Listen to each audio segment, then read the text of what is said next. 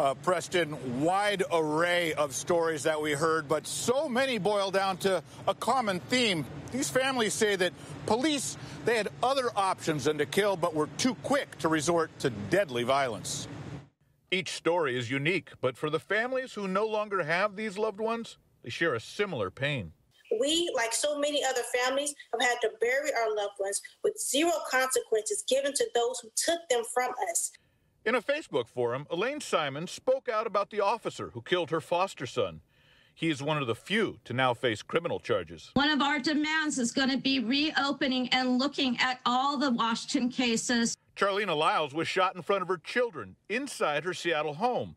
Police say she lunged at them with a knife, but Lyles' cousin says before the use of force investigation was even over, they were told the officers would not be prosecuted. They're just going through the motions.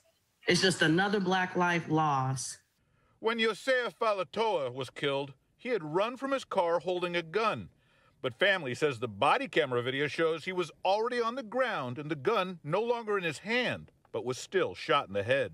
If Officer Keller acted according to policy, then the SPD needs to change policy and training. In sharing these stories, these families hope to keep up the momentum in the calls for police accountability that ignited this summer. They just keep killing us and, and getting away with it. And and I'm hoping that we could change some of these policies It's hard not to notice what taggers have done to Seattle while COVID restrictions have been in place. This is a picture pre COVID of the parking lot where people used to line up to ride the duck boats across from MoPOP. This is what it looks like now, uncared for, covered from corner to corner with graffiti.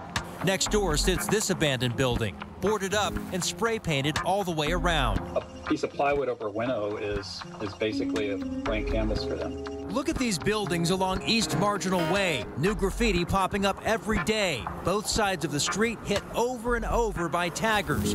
And there's nothing being done to stop it. Exit the northbound State Route 99 tunnel and you'll see this. People have been under lockdown for a year. So, got some bored young men, and it normally is young men that do this.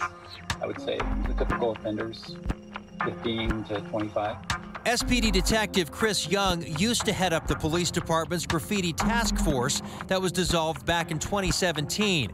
Guy's an expert. He created the website graphipedia.com, which provides a broad overview of the different types of graffiti seen around the city and the history behind it. He says this is the most tagged up he's seen Seattle in his nearly three decades working the streets. Part of the problem is that a lot of people are working from home, and uh, so there's a lot of empty buildings, and you know people can get away with doing graffiti without being seen. Detective Young says most of it's done between 2 and 4 a.m., sometimes in hard to reach spots that may never get painted over. Take this tag, for instance, that reads AIDS in red, black, and white. Thousands drive under it daily as they head out of West Seattle. I think part of the issue is that because of COVID, um, Seattle Public Utilities kind of put a, um, a hold on the graffiti nuisance program, and so it wasn't um, it became much less urgent. Since the program's pause in March of last year, SPU tells me it's received around 15,000 reports of graffiti. The Seattle Municipal Code states property owners are responsible for cleanup, but until the graffiti nuisance program is brought back to life, there's zero enforcement. For now, the best way to get taggers to stop paint over their work right away. The guys who do it put a lot of work into it, and if you paint it the next day, they'll leave you alone. Graffiti has now become a low priority for SPD and falls under the General Investigation Unit. The officers the department does have are now busy responding to high priority 911 calls. That has a huge impact um, on our ability to, to catch these people. Um, that, of course, is the best way to, to get someone who is a tagger or someone who's graffitiing is to, to catch them in the act. Yes, there's a lot to be encouraged by, they say. This all came out during a call with the Department of Health. That's always good to report. However, maybe unsurprisingly, they say we can't get ahead of ourselves. We certainly cannot remove a mask mandate like other states are doing. And while 15% of the state has received at least one shot of the vaccine, they say that leaves 85% of the state still vulnerable and waiting. We're in like mile 21 of a marathon right now. 21 down, five miles to go. But as Assistant Secretary of Health Lacey Fehrenbach stressed, and as runners out there know, the home stretch can be the hardest. And uh, the, the the finish line is there and it's not time to slow down or give up. But the road ahead has some hills. Variants are on the rise. Now 55 reported cases of the variant originating in the UK and South Africa are here.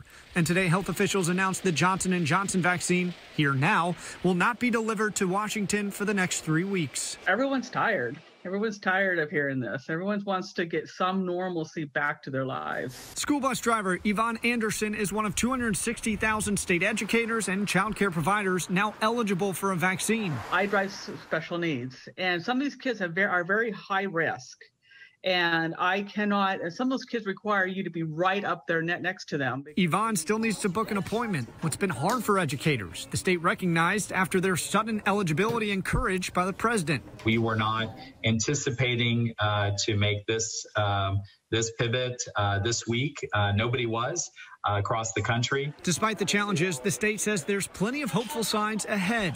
Cases, hospitalizations, and deaths are down. Essential workers will soon be eligible, and more doses are on the way. Next week's allocation forecast is still about 100,000 doses shy of what our pro- providers are requesting, but we're moving in the right direction.